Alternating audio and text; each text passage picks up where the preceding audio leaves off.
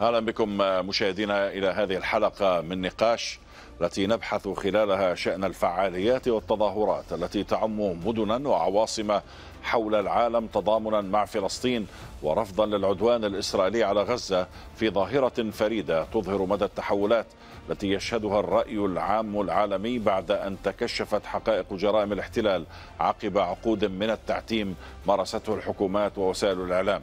ونناقش أيضا التفاعلات في الشارع الإسرائيلي فيما يتعلق بملف الأسرى لدى المقاومة في الوقت الذي تواصل فيه حكومة الاحتلال سياسة عدم الاكتراث لمصيرهم من خلال الضغط العسكري المستمر في غزة ما دفع ذويهم إلى تصعيد التحركات للمطالبة بالذهاب إلى صفقة تبادل فوريه انقاذا لحياتهم.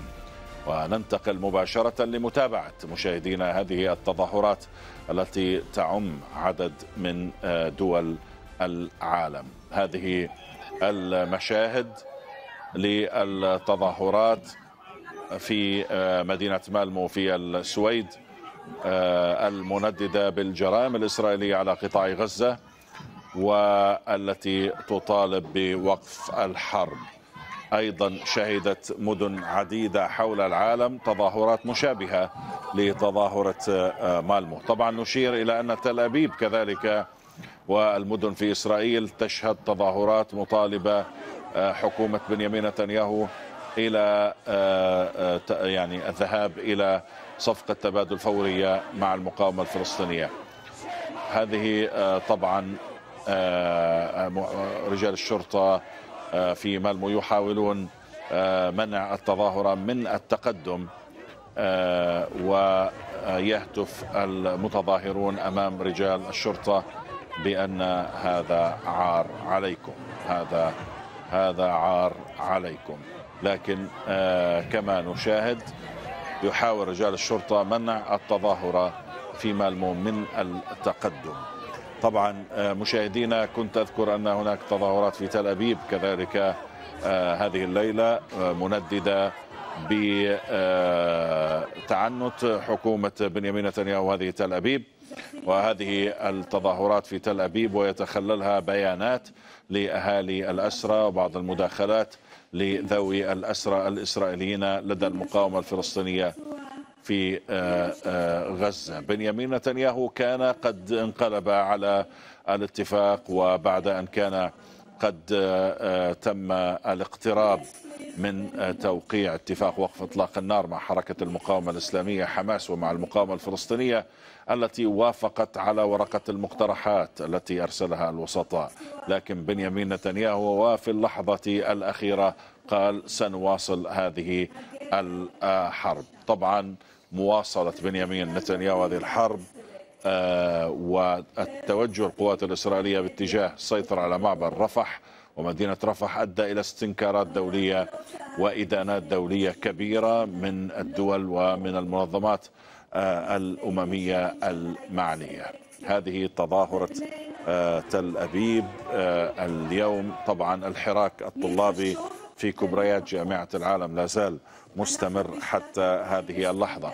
كذلك مشاهدينا شهدت العاصمة الفرنسية باريس مظاهرة مؤيدة للشعب الفلسطيني وتندد بالعدوان الإسرائيلي على قطاع غزة وبجرائم الاحتلال. كذلك شهدت العاصمة الإسبانية مدريد مساء هذا اليوم. تظاهرة كذلك الأمر تطالب بوقف الحرب.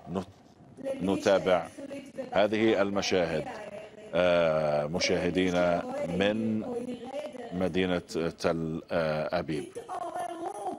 سأتحول إلى مراسلينا أبدأ مع ناصر اللحام وما يجري في تل أبيب. هذه الليلة مهم للغاية خاصة بعد إعلان أبو عبيدة الناطق الرسمي باسم كتائب الشهيد عز الدين القسام الجناح العسكري لحركة المقاومة.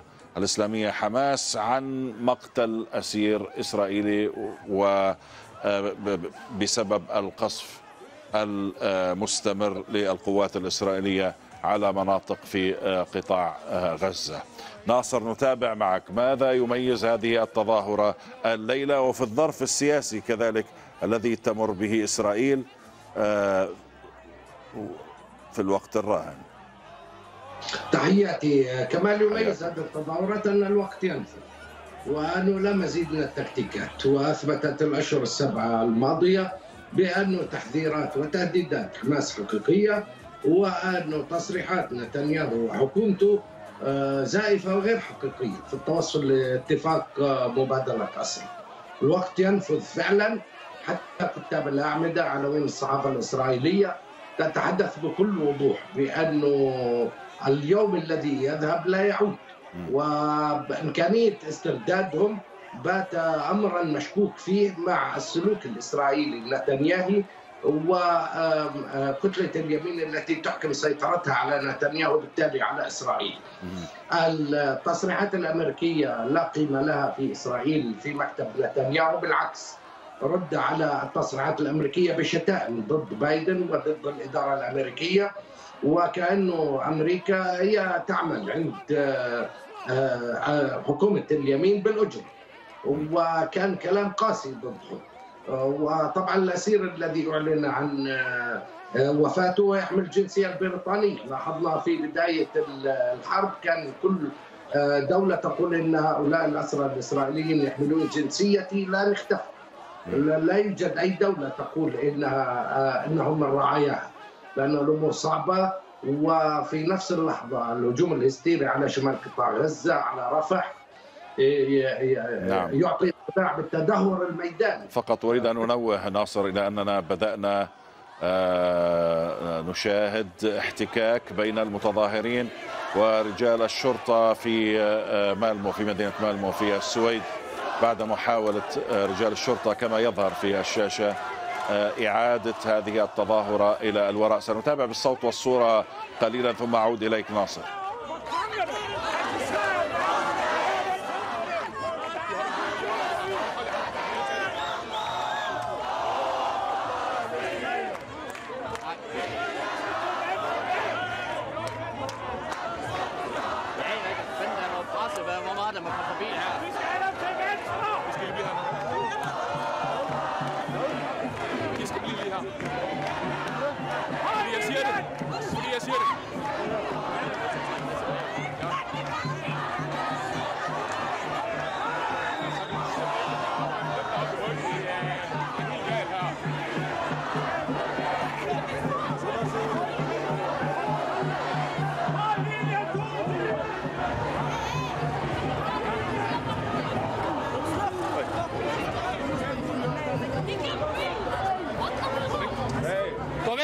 Puttat mig.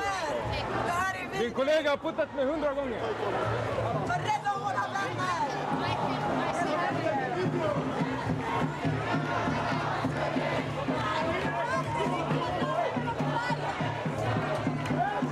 تستمر هذه التظاهرة مشاهدينا في مالمو في السويد وكلما حاول رجال الشرطة إبعاد المتظاهرين تزداد الهتافات وتصميم المتظاهرين على البقاء في أماكنهم. طبعا التظاهرات اليوم الشبيهة بتظاهرة مالمو خرجت في باريس في أمستردام في برلين في ديرسدن في مدريد في عديد من المدن الأوروبية. سأعود إليك ناصر مرة أخرى اليوم كان في مؤتمر صحفي لأهالي الأسرة والآن هناك خطابات في الساحة ومداخلات. آه، آه، نريد أن نعرف آه، يعني أو نطلع على مضمونها.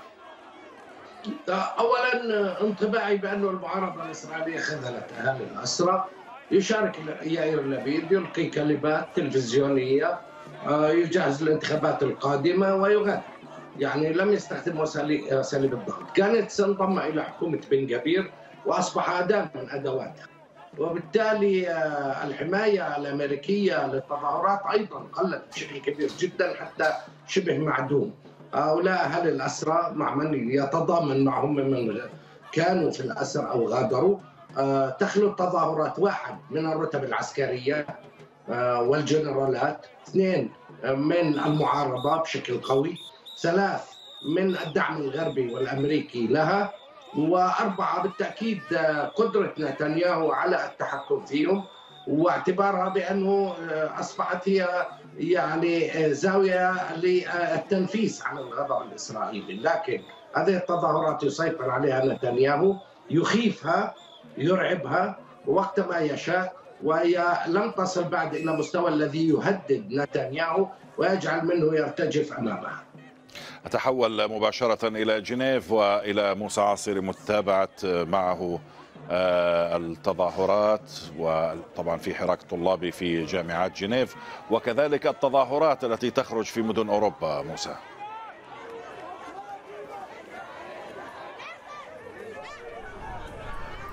لا أسمع الصوت بشكل واضح.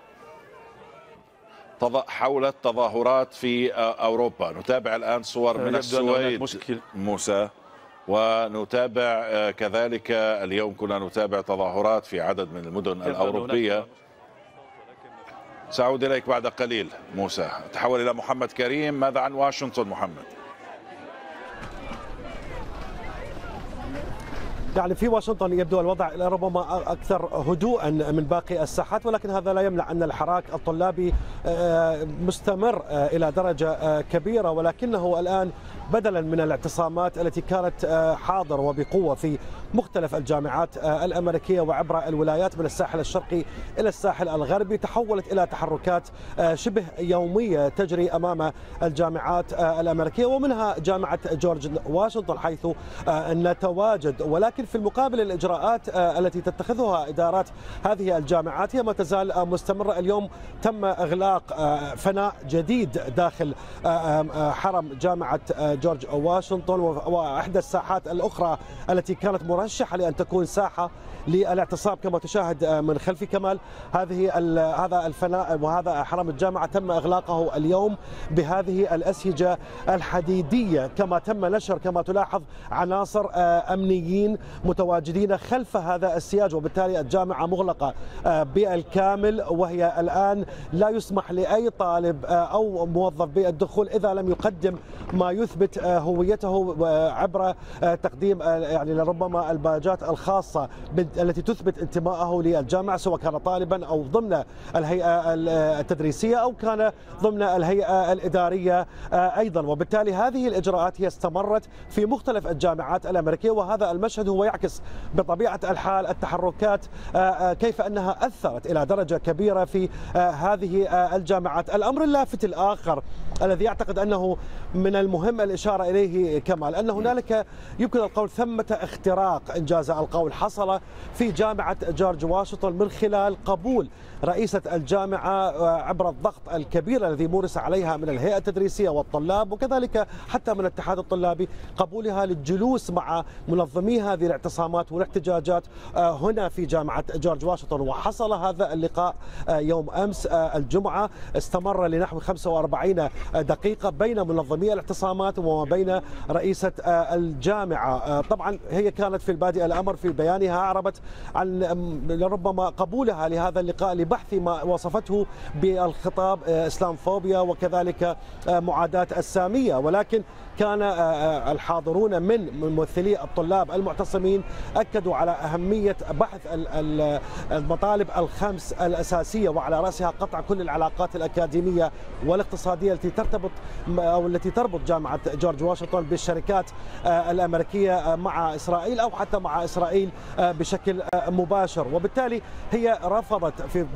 بداية هذا الاجتماع أن تبحث مساله قطع العلاقات ولكن بعد لربما ما حصل من مناقشات مستفيضة ما بين الجانبين وافقت على تأليف لجنة تنظر في المساهمات التي الاستثمارية التي تقوم بها جامعة جورج واشنطن. وهذا يعد خرقا لربما أو اختراقا مهما بالنسبة للطلاب المعتصمين. هنالك اتفاق على أن يتم أو يعقد اجتماع آخر ولكن بصورة افتراضية يوم غد الأحد وبالتالي هذا بالمقابل لا يمنع أن الطلاب تراجعوا عن تلك التحركات. لأن أمس كان هنالك تحرك ونتوقع خلال الأيام المقبلة أن تستمر هذه التحركات الطلابية كمال وخصوصا فيما يتعلق بمسألة الكشف وشفافية الاستثمارات المالية لجامعة جورج واشنطن، طبعا رئيسة الجامعة في تقول أنه من الصعب لربما القيام بهذه المسألة مباشرة وقطع كل العلاقات الاستثمارية مع الشركات الأمريكية وبالتالي طلبت من الطلاب أن يحددوا لها ما هي الشركات. وبالتالي كان الجواب واضحا من الطلاب في هذا الاجتماع الذي بالمناسبة نقل عبر مواقع التواصل الاجتماعي أكدوا لها كل الشركات التي تقوم بتصنيع السلاح نعم. على جامعة جورج واشنطن أن تقطع كل العلاقات المرتبطة معها. وبالتالي هم يؤكدون من جديد بأن لا بأنهم لا يريدون أن تذهب أموالهم في عملية الإبادة الجماعية والقتل التي تمارس بحق الفلسطينيين بشكل يومي كمان. طيب نحن نتابع طبعا مدريد الآن مشاهدينا على الشاشة بالإضافة إلى مدينة مالمو وكذلك تل أبيب، هذه مدريد قبل قليل كنا نتابع أيضا بعض المشاركين كانوا يحيون هذه التظاهرة من شرفات المنازل. هذه التظاهرة في مدريد. طبعا في مدريد ليست الأولى شهدت مدريد عدد من التظاهرات خلال فترة الحرب. وهذه التظاهرات تأتي متزامنة في عدد من المدن الأوروبية وارتفعت وتيرة هذه التظاهرات بشكل كبير مع بدء الجيش الإسرائيلي عدوانا عسكريا على مدينة رفح والسيطرة على معبر رفح الذي يؤثر تأثيرا مباشرا في حياة السكان لأن القوات الإسرائيلية منعت دخول المساعدات من المعابر البرية. الآن أصبح موسى عاصي جاهزا. موسى نتابع مدريد كنا نتابع السويد مدينة مالمو أيضا اليوم. العاصمة الفرنسية شهدت تظاهرة. مدن ألمانية عديدة تشهد تظاهرات. أمستردام كذلك الأمر. كيف تتابع موسى هذه التظاهرات؟ يعني المسألة الأساسية في هذه المتابعة أن هذه التظاهرات مستمرة ومتواصلة منذ سبعة أشهر ونحن دخلنا الشهر الثامن كما كنت أقول قبل قليل في العدوان الإسرائيلي على غزة ولم تهدأ التظاهرات بل على العكس تماما هي تتوسع من مدن إلى مدن ومن عاصمة إلى عاصمة ودخلت إلى الجامعات. إذا أردنا المقارنة كمال مع التظاهرات الاحتجاجية التي حصلت في أوروبا خلال السنوات القليلة الماضية فنرى ما ما يلي. تظاهرة السترات الصفر تتذكرها كمال في باريس وفي فرنسا دامت نحو شهرين إلى ثلاثة أشهر ثم تراجعت وانتهت.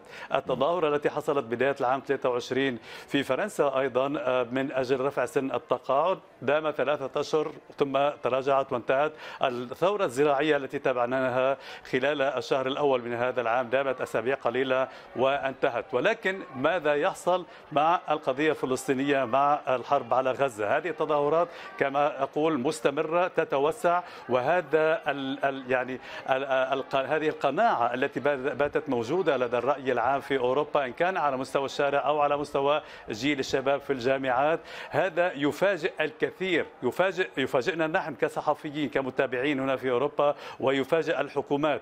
لماذا هذه يعني هذا النفس الطويل؟ هناك قناعة لدى هؤلاء بأننا في مرحلة جديدة بأن ما يجري في فلسطين يجب أن ينتهي. ما يجري مع غزة يجب أن ينتهي. لم نعد نقف هنا أمام السردية الإسرائيلية التاريخية التي تتحدث عن مظلومية الإسرائيلي وأن العرب يريدون رميهم في البحر وما إلى هنالك.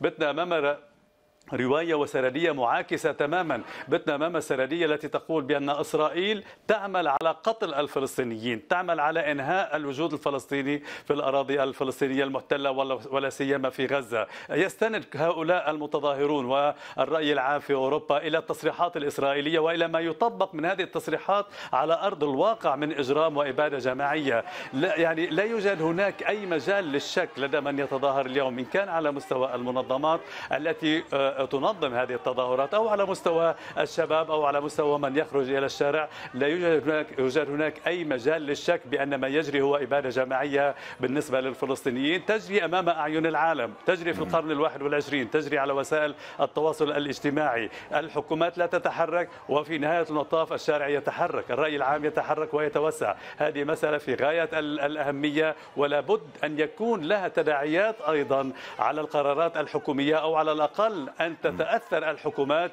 بموقف الرأي العام. الرأي العام يعني شيء مذهل أن نتابع ما يجري خصوصا في هذه المرحلة في الجامعات الأوروبية. شيء آه، آه، يعني لم نعهده من قبل هذا الإصرار لدى الطلاب لدى الأجيال الجديدة على فهم القضية الفلسطينية وعلى فهم التاريخ الفلسطيني وتاريخ المعاناة الفلسطينية. وما يجري فعلا رغم كل الضغوطات لدى, لدى هؤلاء رؤية واضحة رؤية واضحة جدا بأن ما يجري يجب أن يتوقف وينتهي. طيب موسى آه، التظاهرة التي نتابعها الآن في العاصمة الإسبانية مدريد. دعت إليها أكثر من 30 جمعية ومنظمة مدنية وحقوقية وشعارها الأساسي آه، آه، والهدف الأساسي لهذه التظاهرة حسب هذه الجمعيات إدانة الإبادة الجماعية والمذبحة الصهيونية في غزة. نحن أمام آه، موسى تحولات اجتماعية وردود فعل للرأي العام منظمة. يعني هناك جمعيات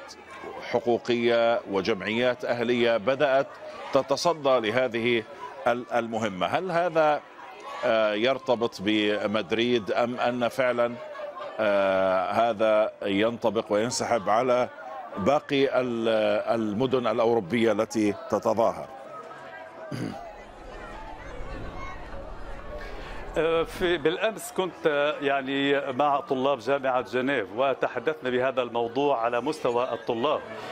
كان هناك خليط من الطلاب معروف مدينة جنيف هي مدينة عالمية وفيها الكثير من الجنسيات التي تتلقى التعليم هنا في جنيف إن كان من يعيش هنا أو من يأتي من الخارج.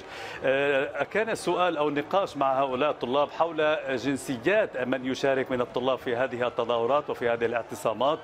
كان الرد واضح أن هذه المسألة هي مسألة عالمية. هذه مسألة لها بعد لها أبعاد إنسانية لها أبعاد من في العدالة في هذا العالم وليس لها بعد إن كان آه، يعني الجنسية أو الجنسيات العربية أو دين الدين الإسلامي أو المسلمين أو غير ذلك. هي مسألة إنسانية وهي مسألة عالمية. على هذا الأساس كمان نرى التظاهرات في في مدريد وهي تظاهرات متقدمة وهي ليست المرة الأولى التي يخرج بها الناس في في مدريد. وبالمناسبة أيضا للحكومة الإسبانية مواقف مهمة ومتقدمة جدا على المواقف التي نلاحظها من قبل الحكومات الأوروبية الأخرى بما يتعلق بالقضية الفلسطينية. هناك أيضا التظاهرات التي تحدث في في بلجيكا. بلجيكا أيضا الحكومة البلجيكية لها أيضا مواقف متقدمة إذا ما أردنا المقارنة بين هذه المواقف ومواقف أخرى في ألمانيا تحديدا وتشيكيا وهنغاريا هذه الدول المؤيدة بشكل أعمى لإسرائيل. إذا هي قضية رأي عام عالمي لا غير محدودة بدولة غير محدودة بمدينة أو بعاصمة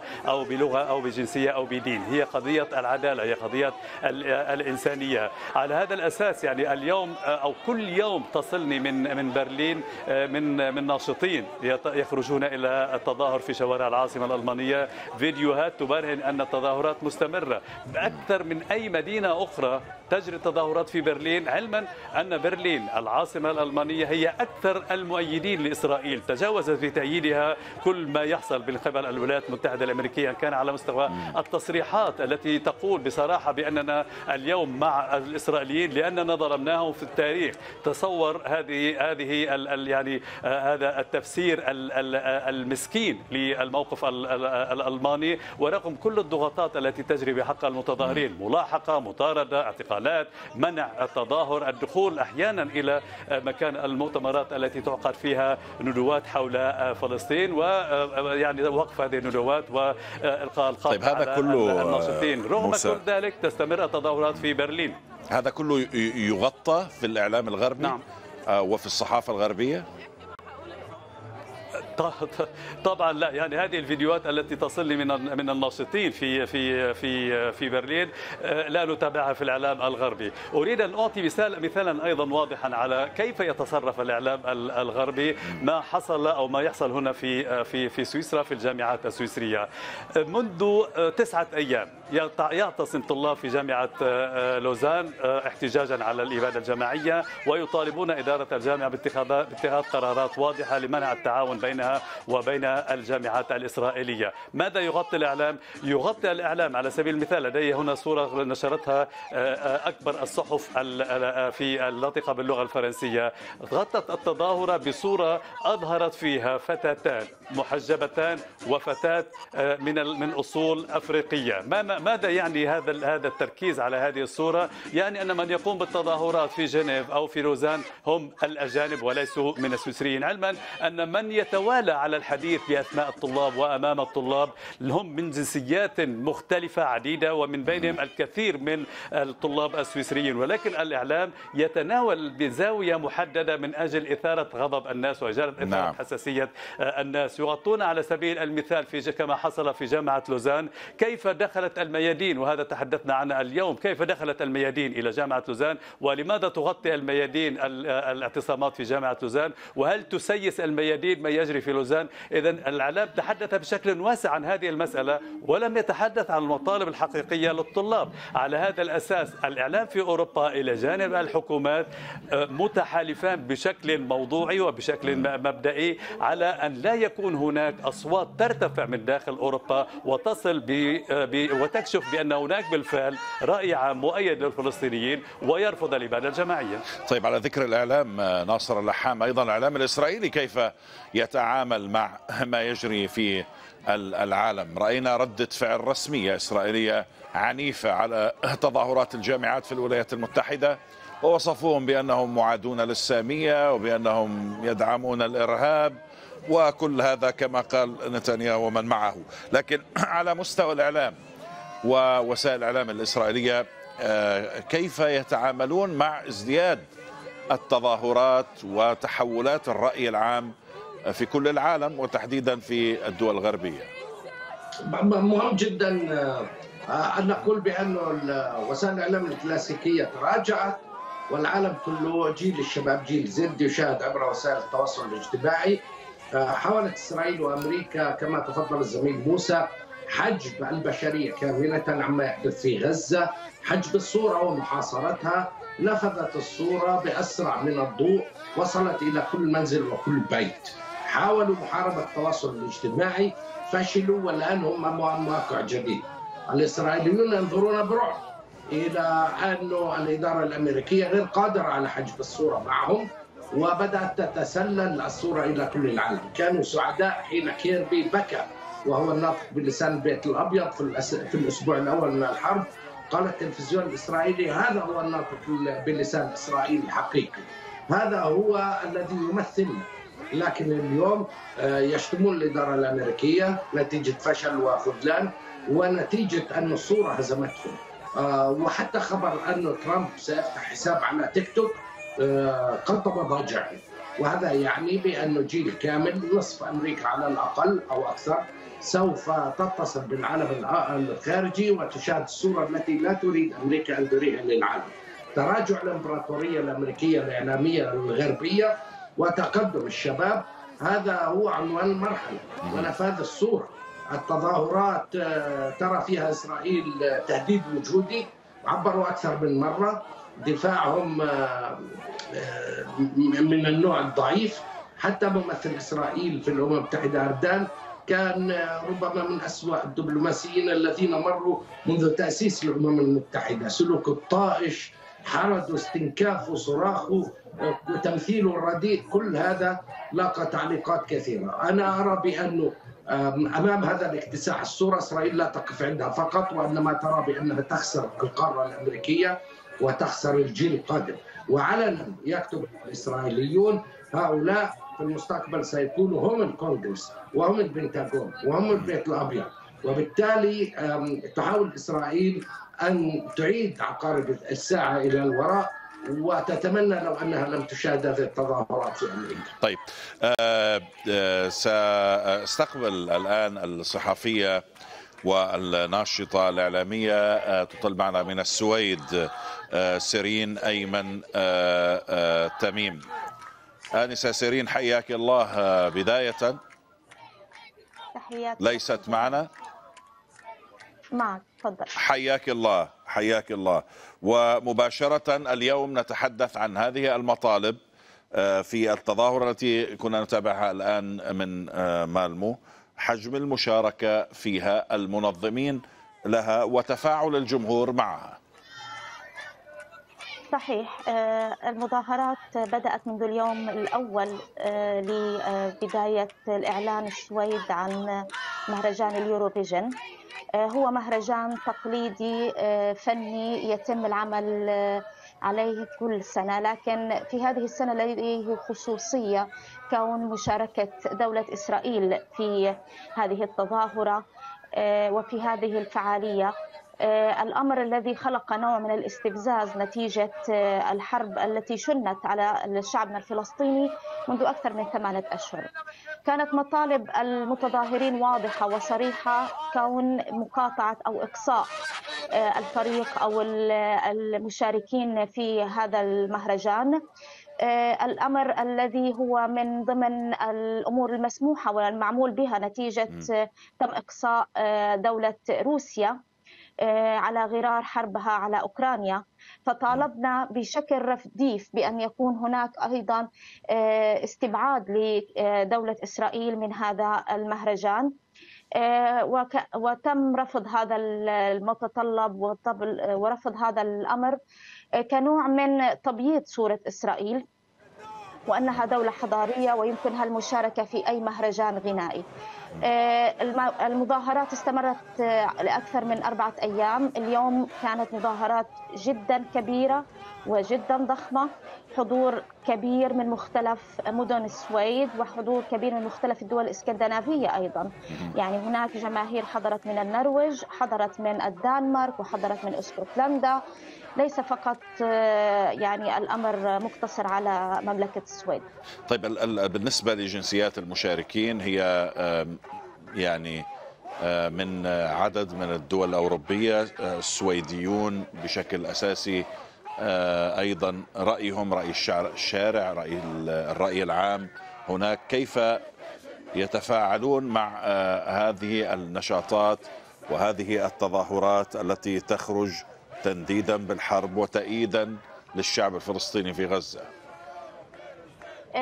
يعني أنا كمراسلة وإعلامية كان غطيت هذه المظاهرة آه، الأمر الصادم والإيجابي بنفس الوقت هو مشاركة كبيرة من السويديين والأوروبيين ومن مختلف الجاليات. يعني ليست فقط المشاركة من الجالية العربية والفلسطينية لا مشاركة من عدة جنسيات ومن عدة دول ومن مختلف الأعمار. يعني في بداية الحراك الشعبي كان مقتصر على الاشخاص معينين بأعمار معينة كبيرين في العمر لكن ما يميز هذا الحراك هو مشاركة الشباب يعني خاصة من طلاب الجامعات الفقه فئة الشباب من بين أعمار فوق الثلاثين. يعني أمر جدا مبهج لنا أن ليس فقط حراك شعبوي مقتصر على طبقة معينة من الجمهور. يعني هناك مشاركة من كافة الأعمار ومن كافة الجنسيات ومن كافة الثقافات. آه،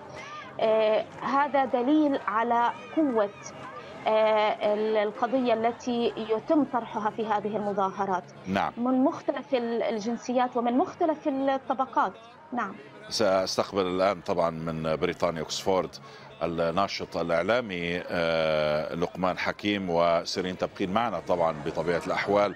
آه، سيد لقمان حياك الله آه، ومباشرة من خلالك نريد أن نطلع على حركة الاحتجاجات في بريطانيا كان في في مدينة مانشستر اليوم خرجت تظاهرة وأيضا التظاهرات توالت في الآونة الأخيرة. كيف هي وتيرة التظاهر وأيضا المطالب وكيفية تعاطي السلطات معها؟ السلام عليكم. أولا وعليك السلام.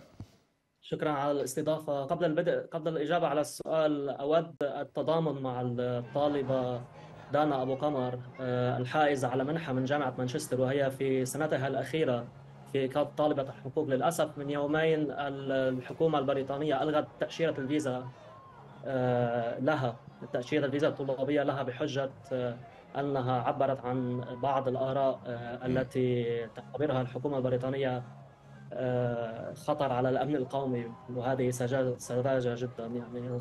هذه إحدى أدوات كمان لقمان إحدى أدوات الضغط على الطلاب خاصة صح. الطلاب المبتعثين.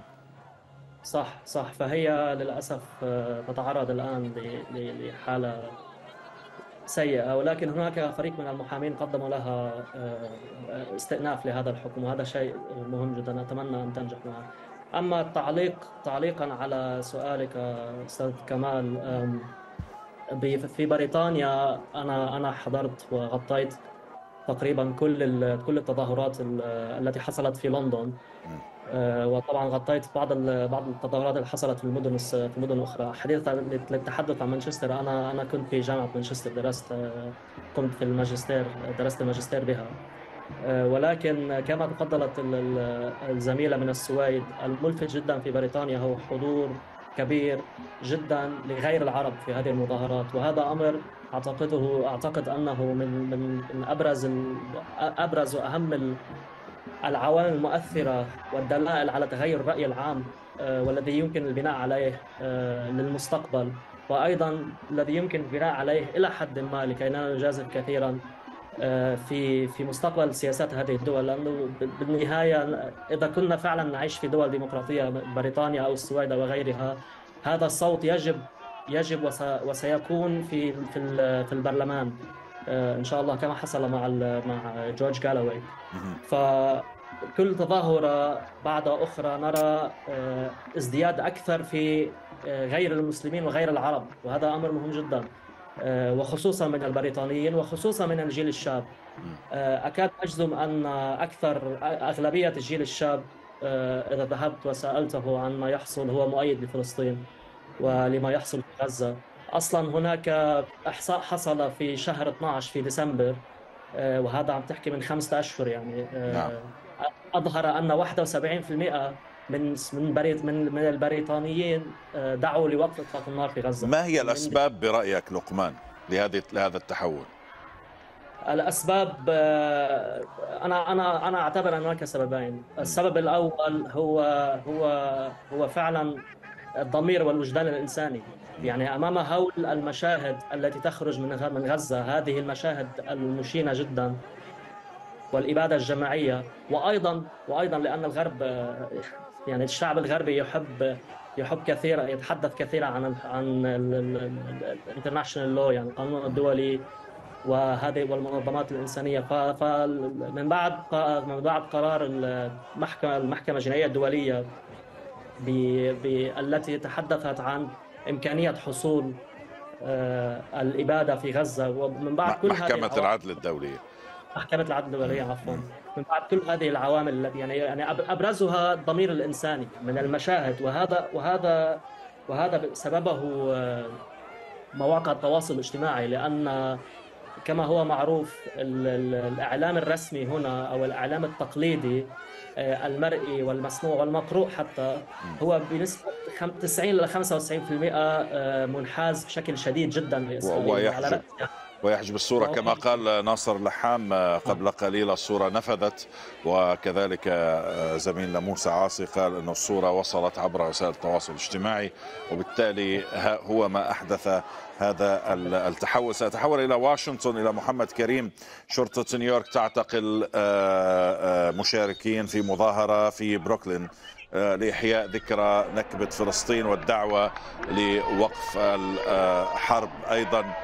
في تظاهرات في نيويورك آه، محمد آه، آه، كريم ومسألة الاعتقالات في أمريكا أصبحت يعني يعني وتيرتها أعلى من من من بقية الدول الأوروبية على ما يبدو محمد أليس كذلك؟ بالفعل كمال. يعني مسألة الاعتقالات أضحت كل تحرك يعني يحصل في مختلف المدن الأمريكية المؤيدة. هذه التحركات المؤيدة للقضية الفلسطينية سرعان ما يتعرض. الذي يشارك في هذه التظاهرات للاعتقال. يعني حتى هنا في واشنطن وليلة أمس كانت هنالك أيضا تظاهرة احتجاجية لعدد من الطلاب. تم اعتقال اثنين منهم أيضا بالإضافة إلى الثلاثين أو أكثر من ثلاثين الذين تم اعتقالهم صباح يوم الاثنين الماضي عندما فك الاعتصام الذي كان يقيمه الطلاب في حرم جامعة جورج واشنطن بالقوة. وبالتالي هذه الاعتقالات هي بالفعل أضحت هي سياسة معمول بها وبغطاء سياسي. سياسي واضح من قبل الإدارة الأمريكية من قبل أعضاء الكونغرس. بل على العكس لربما بعض أعضاء الكونغرس يصفون بأن هنالك تهاونا من قبل الأجهزة الأمنية في كيفية التعاطي والتعامل مع هذه التحركات الاحتجاجية. وبالتالي يوم النكبة وذكرى وهذه الذكرى الأليمة بدون أدنى شك هي كل سنة تكون فيها أو تشهد فيها الولايات المتحدة في عدد من المدن الأمريكية ومنها طبعا بالتأكيد نيويورك تحركات واحتجاجات مؤيدة للشعب الفلسطيني ومنددة أيضا فيما يأتي وخصوصا ما نحن نمر في هذه الأيام والعدوان الإسرائيلي ما زال مستمر على غزة. وبالتالي بالفعل هنالك اعتقالات وصلنا قبل قليل لشخصين على الأقل في مدينة بروكلين في نيويورك في هذه الاحتجاجات. يعني وبالتالي الاعتقالات يعني نحن نتحدث في غضون فقط أسبوعين كمال أكثر من 2600 طالب ممن تم اعتقالهم من قبل الأجهزة الأمنية في عدد من الولايات الأمريكية وهذا رقم كبير حقيقة. لم تشهده أو تعهده التظاهرات السابقة حتى أيام التظاهرات التي كنا نغطيها في عقب مقتل جورج فلويد.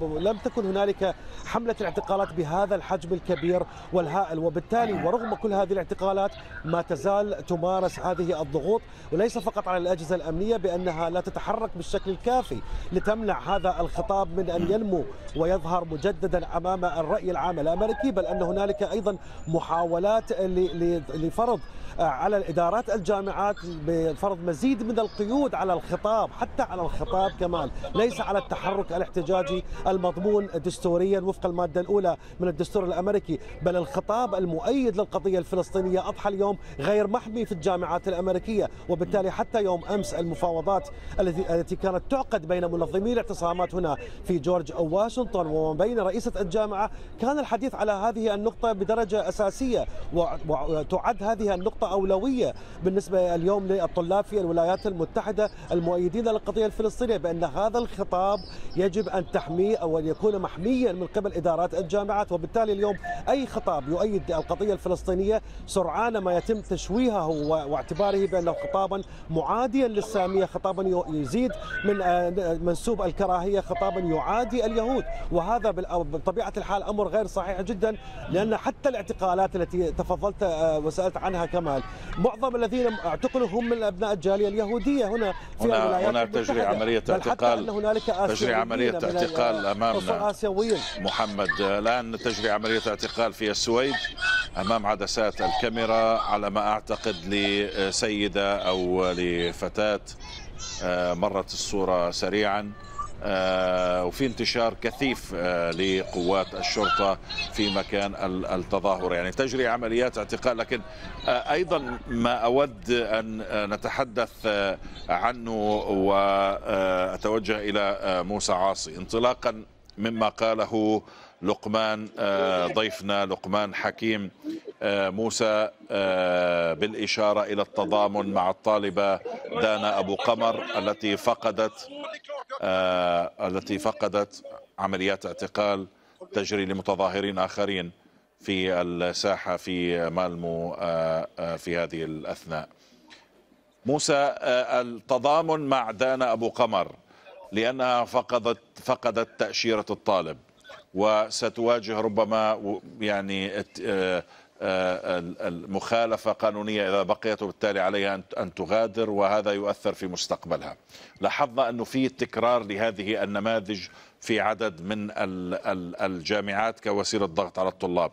أيضا في المجتمع موسى في هناك من يفقدون أعمالهم. في هناك من يتهم بمعاداة السامية ومعاداة اليهود ويتم عملية ضغط واغتيال معنوي لهم. ماذا حول هذه الأساليب ومن يحمي في الدول الغربية؟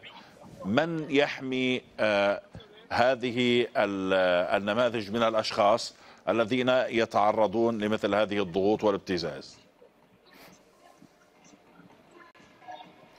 الواضح أننا يعني في خضام معركه معركة كسر عظم حتى على المستوى التعاطي مع الناشطين في أوروبا، الناشطين المتع...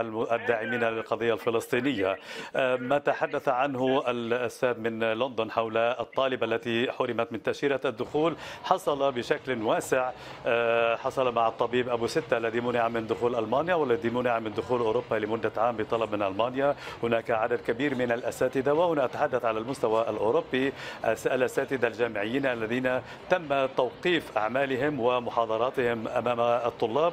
وطبعا الحكومات أو اداره الجامعات تستهدف بشكل خاص الأساتذة أو الطلاب أو الناشطين من أصول عربية للإيحاء بأن ما يجري حاليا أو ما أو ما يجري في أوروبا هذه التحركات يدفع لها العرب أو من أصول عربية أو يحرض عليها العرب أو من ذوي الأصول العربية. يريدون الفصل بين العرب وبين الناشطين الآخرين على أساس أن ما يجري ليس آه، يعني آه، نابعا من آه، من من من تطلعات الشعوب الأوروبية ومن تطلعات الطلاب في أوروبا لنحو العدالة للفلسطينيين، اذا هذه المسألة باتت على شكل واسع، هناك تهديدات تصل عبر الهواتف للناشطين إن كان في في في في في فرنسا أو في معظم الدول الأوروبية، تهديدات واضحة تأتي إلى هؤلاء وحرمان من العمل وتهديدات أيضا بإمكانية عدم الحصول على عمل أو عدم تقديم الامتحانات لبعض الطلاب.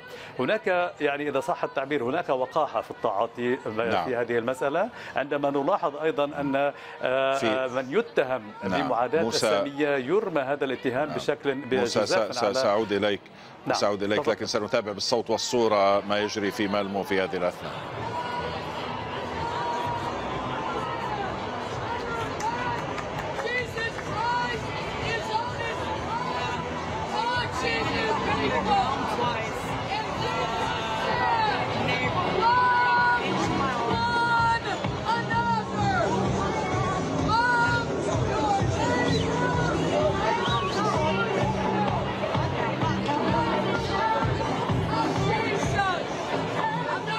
موسى أتابع معك آه، معذرة قطعناك لكن كنا نتابع هذه الناشطة وهي آه، تردد آه، هتافات أو بيان بالمتظاهرين نتابع معك موسى.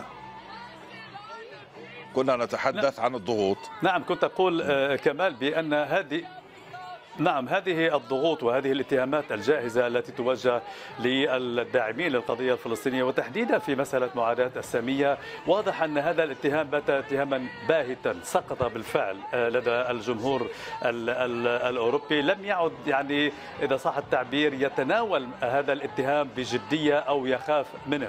ما كنا نلاحظه قبل سبعة أشهر أو قبل العدوان الإسرائيلي على غزة لم يعد يعني في هذه المرحلة لم يعد موجودا. في السابق كنا إذا تحدثنا إذا اتهمنا أو نددنا بإسرائيل نتهم بمعاداة أسامية. اليوم يكتب على الجدران على جدران الجامعات والشعارات ترفع والهتافات تردد فلسطين من البحر إلى النهر. والفرق بين معاداة إسرائيل أو التنديد بإسرائيل والتنديد بالجرائم الإسرائيلية ومعاداة أسامية. هناك الكثير من اليهود الذين يشاركون في التظاهرات إن كان في أوروبا أو في أمريكا أو نعم. حتى في في سويسرا. هناك الكثير من اليهود الذين يشاركون يشاركون يرون ما يجري بالفعل. وهذه علامة فارقة على أن ما يجري في فلسطين ليس كما يحاول الساسة نعم. الأوروبيون تحاول الحكومات الأوروبية أورسلا فوندرلاين أو غير أورسلا فوندرلاين الإيحاء به بأن ما يجري هو حرب دينية وأنه هجوم على اليهود ويريدون إنهاء اليهود في هذه المنطقة. هذه المسألة باتت واضحة لدى الجزء كبير من الرأي العام. الرؤية باتت أوضح بكثير من السابق وهذه الرواية كما كنت أتحدث قبل قليل بالفعل سقطت لدى جزء كبير من الرأي العام في أوروبا. طيب سأتحول إلى سيرين من جديد في السويد ونحن نتابع السويد طبعا آه، مشاهدينا. آنسة سيرين هل هذه الضغوط التي نتحدث عنها تحدث عنها لقمان وموسى آه، عاصي هل هذه تخيف تؤثر تجعل البعض يحجم أم أنها لها لها مفعول عكسي؟ يعني تؤدي على العكس إلى زيادة الزخم وإلى زيادة التضامن. لنتفق على أمر يعني بداية عند بداية الحرب على قطاع غزة آه، كان أمامنا تحدي كبير جدا خاصة في مملكة السويد في ظل آه، آه، الحكومة اليمينية المتشددة التي هي تحكم الآن في السويد.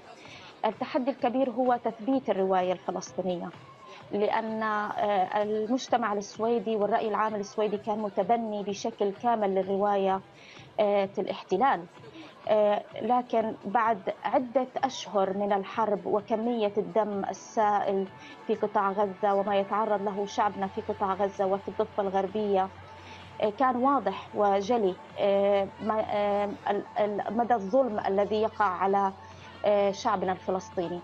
الحراك والمظاهرات هو قوة ضاغطة وقوة شعبية ضاغطة هي تؤثر بشكل آه، بشكل مباشر على آه، القرار بالرأي العام لأن هؤلاء المتظاهرين هم بغالبيتهم هم منتسبون لأحزاب وهذه الأحزاب هي من تشكل الحكومة نعم. حظنا السيء في السويد هي أننا في وقت تحكم آه، يحكم الاتجاه اليميني لكن هي فترة مؤقتة نحن على أبواب انتخابات جديدة أصواتنا نحن كجالية عربية ومسلمة نحن من نقررها.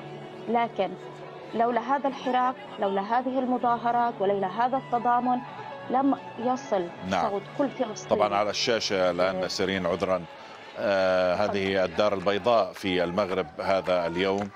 آه مساء هذا اليوم. آه تظاهرة في المغرب العربي في الدار البيضاء.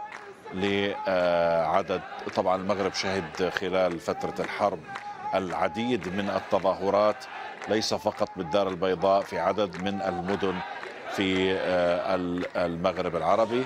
هذه تظاهرة المغرب آه، مساء هذا اليوم وهذه مشاهد آه، منها. سأختم مع ناصر اللحام مشاهدينا. ناصر علم فلسطين في أرجاء الأرض الأربعة. يعني من إفريقيا إلى أمريكا اللاتينية إلى شرق آسيا اليوم في تظاهرة في اليابان. وقبل كم يوم كان هناك أيضا في اليابان إلى آه، إفريقيا إلى آسيا إلى آه، أوروبا وأمريكا. القضية أصبحت شبت عن الطوق وأصبحت قضية عالمية. ناصر الإسرائيليون غير مدركين لما يجري من تحولات أم أنهم يلاحظونها. ويتعاملون معها آه، يدركون لكن آه، الحرب الأخيرة أثبتت بأنه باتوا يعتمدون بشكل كلي على الولايات المتحدة الأمريكية. أريد أن أضيف نقطة هامة آه، استكمالا لما تفضل به الضيوف. أيضا تل أبيب تعتقل المتظاهرين. ومنهم أسرى إسرائيليين أطلقت حماس سراحهم في الدفعة الأولى لتبادل الأسرى. تم اعتقال الأسرى يعني الذين أطلق سراحهم من غزة يعتقلوا في تل أبيب ويعتقل ضباط ويعتقل متظاهرين في تل أبيب نفس الأسلوب. اثنين العلم الفلسطيني الذي يرفع هو هزيمة أخرى لوزارة الخارجية الإسرائيلية غير الموجودة أصلا. هذه هذه المشاهد ناصر الآن من تل أبيب لاعتقال متظاهرين كما آه، يعني كنت كنت تشير قبل قليل. نشاهدها الآن مباشرة على الشاشة. نعم. نقطة أخيرة يضاف إلى الاعتقال استخدام المياه والمياه العادمة واستخدام الفرسان في الاعتداء على المتظاهرين بشكل قاسي وهذا يدل على أن الاحتلال لا يبقى في الخارج وإنما يعود إلى ذاته مرة أخرى ويستخدم نفس أساليب القمع التي استخدمت ضد العرب. رويدا رويدا حكومة اليمين تستخدمها ضد اليهود أنفسهم. ناصر اللحام مدير مكتب الميادين في فلسطين المحتلة من بيت لحم. شكرا جزيلا لك موسى عاصي مدير مكتب الميادين في جنيف. أشكرك جزيل الشكر محمد كريم من واشنطن سيرين أيمن تميمة الصحفية والناشطة الإعلامية من مالمو السويد والأستاذ لقمان حكيم الناشط الإعلامي من بريطانيا أكسفورد. شكرا جزيلا لكم جميعا. حلقة نقاش اليوم انتهت. شكرا للمتابعة إلى اللقاء.